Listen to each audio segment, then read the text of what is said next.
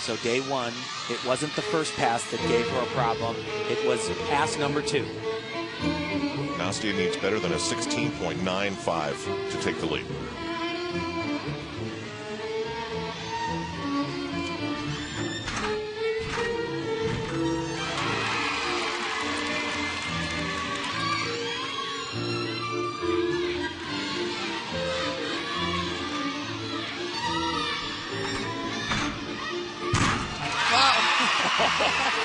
Just a little different.